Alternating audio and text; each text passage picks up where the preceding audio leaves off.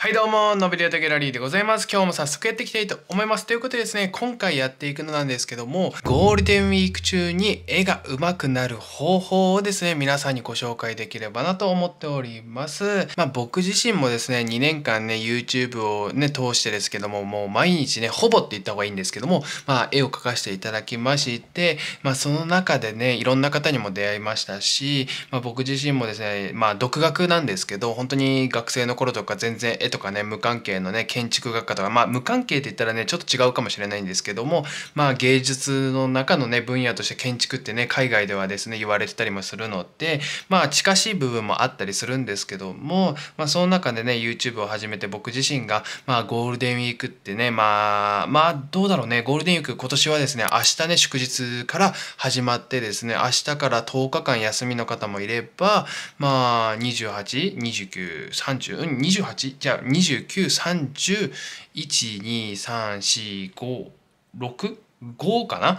？7日ぐらいかもしくはね休みを取ってまあ10日間ぐらいのですねゴールデンウィークあると思うんですけどもそのゴールデンウィーク中に僕なりのですね、まあ、絵が上手くなる方法むしろ僕もやってたね今でもやってる方法をですね皆さんに5つほどご紹介できればなと思っております、まあ、早速ですね皆さんに1つ目をですねご紹介していこうと思うんですけども、まあ、1つ目はですね毎日ペンを持つっていうねめちゃくちゃ当たり前やんと思う方多いと思うんですけども意外にですねペンってねまあ持たないんですよ。まああの絵をね描く、まあ、学校とか行ってたりね習ってたりすると、まあ、毎日どうしてもね持たないといけないとか、まあ、学生の頃だとまあね普通に黒板のノートを取るとかねペンを持ったりしますし、まあ、教科書とかね暇だったら落書きするみたいなのありましたけども、まあ、そういう感じでですねもう日常から毎日ですねペンを持ってくださいねっていうのが僕が伝えたいことでございましてじゃあペンだけなのかって言ったらそういうわけでもなくてもしデジタルのイラスト描く方だったらそのまああの何て言うんですかまあアップルペンシルみたいなねありますよね。iPad のペンシルを持つとかでもいいですし別にねこういう僕がねまあペンが一番ですね自信を持ってるね絵柄なんですけどもこのミリペン以外にもボールペンでもいいですし筆を持つでもいいですし自分がですねこれね極めてみたいなとか自分がね興味持ってるものにですね時間を割いてほしいなと思っておりましてそのですね一つねまず決めてほしいですね。何かしらこのゴールデンウィーク中例えば10日間1週間でもいいのでその1週間は絶対にこの画材を持とうって決めていただいて、まあ、これがですね結構ね最初のですね壁になるかもしれないですね。まあ最初ねこの言葉聞いただけじゃいや持てるよと思うかもしれないんですけども意外にね持たないんですよ日頃ですね持ってないと忘れちゃうっていうか忘れはしないんだけどもまああの僕はですね基本テーブルにですねこういう形で筆箱にねまあいろんな文房具入れてたりもするのですぐねもう手にねこうやって右手を動かせば目の前にペンがあるっていう状況で今絵描いてたりもするのでまあ撮りやすいんですけども、まあ、日頃ねあの全然自分の、まあ、僕自身もね経験なんですけども自分の部屋でですね、まあ、絵を描くっていうことちっちゃい頃とか、まあ、自分の一応勉強机みたいなのあったんですけどもその勉強机で勉強した記憶が一切ないね。もうだからまあむしろねあの小さい頃もう本当に10代のもう高校生僕自身もまあ部活とかありましたからそういう方はもう部活に専念してしていただいてもう自分の趣味をねやっぱ生かしてほしいなと思いますので全然あのなかなか持てない日っていうのもあると思うんですけどもまああのペンをね持っていただいてあとはねここにね付け加えるとしたら紙とかかな紙とかね紙はね別に何でもいいんだけども、まあ、僕がですねいろいろね紙とかこういうペン画とかねやりたい方にね、まあ、おすすめの紙とかもありますしポスカにねおすすめとかコピックとかにねおすすめの紙とかもですねご紹介してたりもするので、まあ、そういうね紙の動画とかも見ていただけると嬉しいなと思っております。まず、まあペンと紙をですねゴールデンウィーク中毎日持ってくださいというのが1つ目でございます。そして2つ目ですねこれはですね今の時代だからこそっていうのがあるかもしれないんですけども毎日 YouTube を見るっていうね YouTube を見るって言っても普通にですねまあ有名 YouTuber さんを見るっていうのもまあ好きな YouTuber さんとか多分たくさんいると思うんですよね。まあ僕自身もねあのたくさんいるんですけど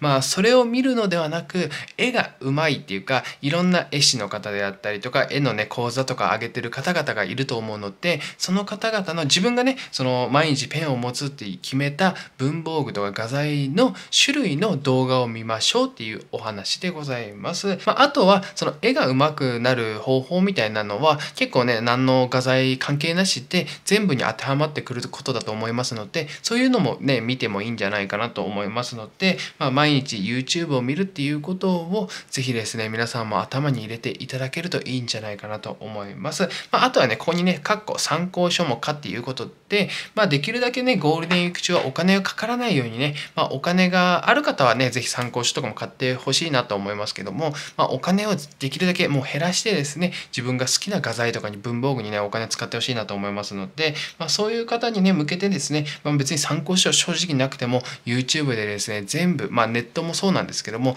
全部拾えちゃうというのがですね今の時代だと思いますので是非ですね毎日ね YouTube 見てほしいなと思います。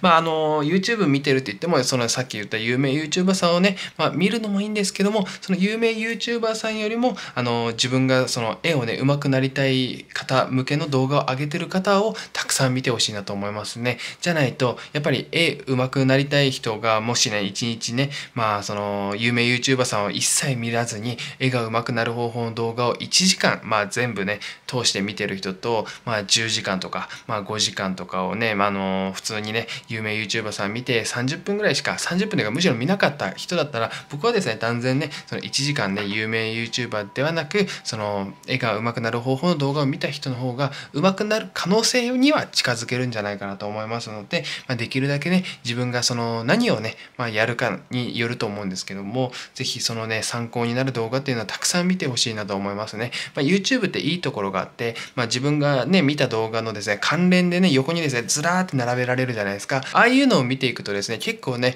いろんなねあのヒントが隠れてると思いますしあとたくさん見ていくとまああのこれ参考書にも言えるんですけども同じような言葉がね書いてたりするんですよ。あこれこの参考書にもね同じ言葉書いてたなって思うやつは結構ねあの重要なことでもあったりするのでで、ぜひ YouTube でもですね、同じようなね、まあ、あの、YouTuber さんが同じだったら、あの、言ってることはね、同じことがね、繰り返されることもあるかもしれないんですけども、その違う YouTuber さんの、まあ、動画を見てですね、同じようなことを言ってるっていうことは、おそらくですね、まあ、これはですね、ちゃんとね、聞いてた方がいいんだなっていうね、まあ、自分にも参考になる言葉なんだなと思いながらですね、ぜひ勉強してほしいなと思っております。これがね、2つ目でございました。そして3つ目はですね、自分が好きななですね絵柄を見つけるっていうのをやっていただけると嬉しいなと思います。やっぱりですねその絵が上手くなるにはっていう結構ざっくりしてるじゃないですか。もうざっくりしすぎてどっから手つければいいかって全く分かんないと思うんですよ。これねめちゃめちゃいい方法で、まあ、自分が好きな絵柄でもいいですしアーティストさんでもいいです。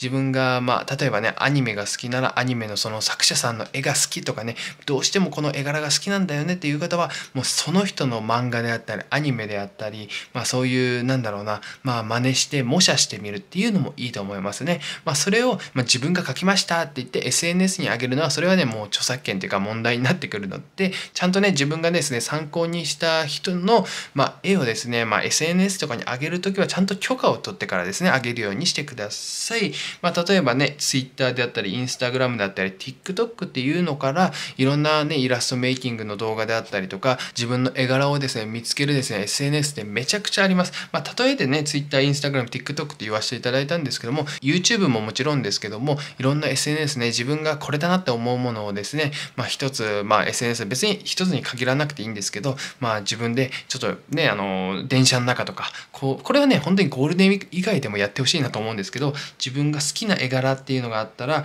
あ、これいいなと思ったらですね、まああの、こうやって見て、まあ、うわめっちゃいいわって思って真似するんですよ。紙にですね、まあ絵を描いていくと。自分がやってみて、ま、どこが違うのかっていうのをですね比べることをねやってほしいなと思いますね。やっぱりどうしても絵が上手くなる方法って YouTube とかもそうなんですけども参考書とかもねなんかやった気になっちゃうんだよねあれってね。なんか自分の中でインプットしたって思っても頭の中に入れたって思ってうわ今日勉強したわって思う方多いと思うんですけどもそれだと絵が上手くなるにはですね50%ぐらいにしかねなってないんですよね。なので今回ね僕のこの動画を聞いてまああのちょっと満足してしまったらもうそこで僕は終わりだと思うので、まあ、これのね、まあ、5つ今回紹介する中で、まあ、全部やってほしいんですけどもできるだけですね真似していただいてまあ最初はね本当に多分続かないので、まあ、10日間、まあ、あるかもしれないし1週間でもね、まあ、1週間耐えてほしい。本当にですね、まあ、1週間正直耐えたらですね多分1ヶ月持つから。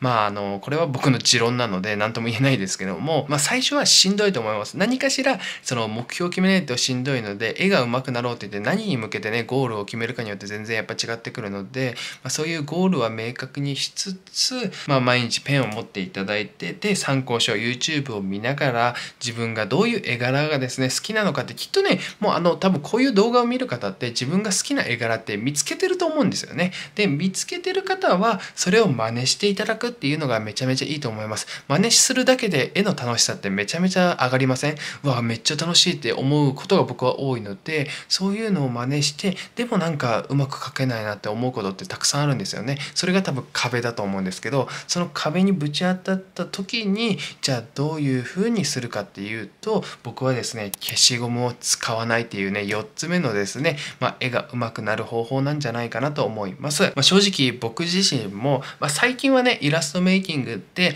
まあ、る程度、まあ鉛筆で下書きしたりとかもするんですけども僕の YouTube で上がってるイラストって基本消しゴム使わないんですよ。なぜかというと、まあ、ちっちゃい頃からねちっちゃい頃って言ってもあの高校とか大学の時もですね、まあ、建築、まあ、言ったら高校かな建築学科の先生が、まあ、あのエスキスってね建築ではその図面とか、まあ、書く時にその自分でね設計したりするんですけど建物とかはねでその建物を考える時のこういうですねもういろんなねもうたくさんのある紙に、まあ、1日ねあのこうやって1番とか書いて、まあ、何月何日を書いてですねどういう家を建てるかっていう構成案みたいな考えていくんですよ。で自分の間取りを考えていくんだよね。まあ、自分の家でリビングあってってトイレここかなとか水回りだからトイレの近くに風呂場置かないといけないなとか南の窓の方に太陽が当たるから太陽の方にベランダ持ってきたいなとかそういうのを考えるのをエスキスって言ったりもするんですけどもそういう時に消しゴムは使うなっていうのを僕はですね高校生の時にですね教えてもらいまして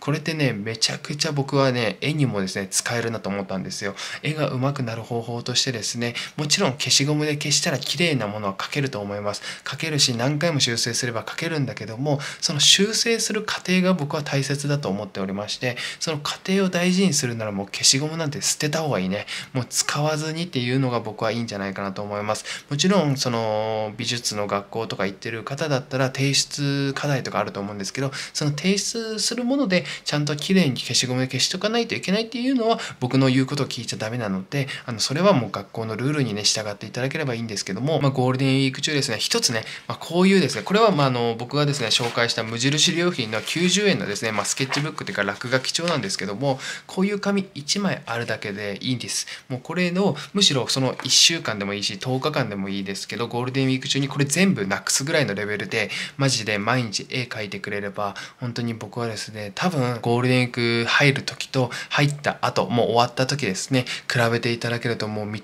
えるほどにですね絵柄っていうのはアップしてると思いますので是非ねやってほしいなと思います。そのためにも消しゴムを使わないっていうのをですねちょっとねまああの脳みその片隅に置いていただけると嬉しいなと思いますね、まあ、頭の片隅だったかな。まあそういう形でですね消しゴムは僕は使わないんだよね。消しゴムっていうのはメリット、まあ、使うメリットとしては綺麗になるとかねいろいろあると思うんですけども僕自身は下書きをこうやって書くじゃないですか。下書きを、まあ、ある程度こういう風に書こうかなと思った時に結局ですね下書きやっても僕自身ですねその絵柄にならないんだよね。まあこういう人は僕別に下書きいらないんじゃないかなとか思ったりするのでもちろんねなんかその絵をですね販売するとかだったらもちろん僕は消しゴムを使ったりするんですけども自分自身がまあ世界で描く時の絵っていうのは基本消しゴムを使わずにですね表現することが多いかなと思っております。なので皆さんね消しゴムを使わずにちょっとねゴールデンウィークね勉強していただけると嬉しいなと思っております。そしてですね最後ですね5つ目なんですけどもこれはですねめちゃくちゃ大事だと思います。一つの作品を最後まで書き終えるっていうことをねやってほしいなと思っておりまして、まあ、どういうことかっていうと何かね自分がそれこそ毎日ペンを持ってですね一つね決めていただくことも大切だと思います。決めるっていうのが、まあ、好きなもので僕だったらよくねお花を描くんですけどもむしろお花しか描いてないんですけどそのお花を描くなら一つのですねまあ動画でねメイキングとか上げたりするんですけどもそのメイキングのための作品って言われるものは書き終えるまでは次の作品に手を出さないっていう風に決めていただくっていうのが大切かなと思いますんでやっぱりどうしても自分が最初ね絵描いてる時とかもうわうまくねえわもういいやってねペンを離しちゃうことってたくさんあると思うんですよ。これがまあ結構ぶつかる壁だと思うんですけどもそこで諦めずに必ず持っていただいてなおかつ消しゴムでですね僕は消さずにその失敗を成功に持っていくように絵をですねどんどん描き加えていくんだよね。それでまあ最終的に自分が満足するような絵柄を作っていただいてそれでまあいろんな SNS 上げてもいいですし僕はね YouTube でね基本イラスト上げてたりもしますけども、まあ、そういうふうにまあ見てもらうっていうところまで持っていった方がいいかなと思いますんでまあそこであのー、まあ絵が下手くそだからって言ってたら僕は成長できないと思います。なので一つ一つの作品をですね最後まで書き終えることはですね絶対にやってほしいなと思いますね。やっぱり一つの作品を書き終えたことによってで次ね違うものを学んだ状態で活かしてまたさらに違う作品を完成させてわこういうね2個並んだ時にこういうとこをもうちょっとね修正しないといけないなっていうのをどんどんどんどんねもうつないでつないでつないでっていう作業が僕はですね絵が上手くなる方法の近道なんじゃないかなと思いますのであのもう書きまくってください。もう下手くそでいいんですよ。もう絶対下手くそだもん。僕も今下手くそだと思いますしずっと下手くそなんですよ。でも下手くそ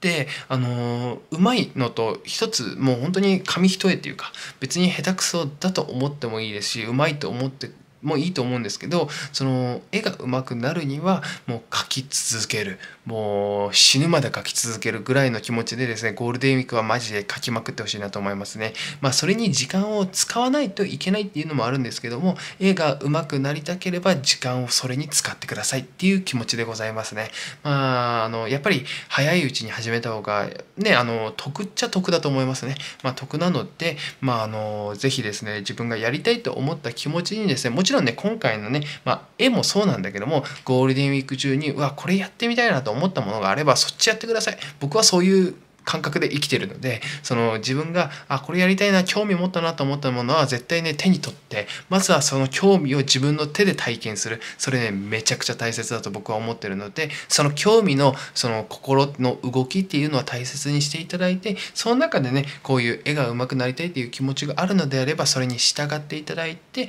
是非ですねよかったらですね自分の世界をですね切り開いていただけると嬉しいなと思っております。まあ、今回はですねこのような形でゴールデンウィーク中に絵がが上手くなる方法っていう形でですねご紹介させていただいたんですけども、まあ、1つ目毎日ペンを持つ。2つ目毎日 YouTube を見る。参考書もかそして3つ目自分が好きな絵柄を見つける。SNS とかで見てください。そして4消しゴムを使わない。消しゴムを使ってもいいんですけどもその消しゴムを使わないことで、まあ、残しておくっていうのも大切かなと思いますのでその経過をですね、まあ、観察してそして成長を感じてください。そして5つ目1つの作品を最後まで書き終えるっていうこと。これがですね本当に絵を描く。もう本当に何でもそうかもしれないけど、まあ、最後までやりきるっていうことをやることが僕はですね一番の成功をする近道かもしれないなと思うので僕もですねこのね、まあ、一つの作品を最後まで書き終えるとか一つの動画を最後まで撮り切るとか、まあ、いろんなことにですね言葉を変換できると思いますので是非今自分がやりたいものをですねちょっとそれをですね終わりまで自分が満足するまでですねやり遂げてほしいなと思います。そういうねゴールデンウィークにしていただけるときっとそのゴールデンウィーク明けにですね友達とかに出会った時に結構なレベルの差が開いてると思いますので是非このゴールデンウィークですね一日一日を大切にしていただいて最高なですねゴールデンウィークライフにしていただけると嬉しいなと思っております。ということで今日はこの辺で終わりたいと思います。いますけどもまた明日以降の最高なアートの世界でお会いしたいと思います。明日はどんなアートになるのか僕にもわからない。そして皆さんにもわからない。だから一緒に確かめていきましょう。是非ゴールデンウィーク後のですね皆さんのイラスト見たいと思います。まあ見れるかわかんないけども是非ですねまたどっかで出会えることを楽しみにしております。また明日お会いしましょう。バイバイ。ありがとうございました。Thank you です。バイバイ。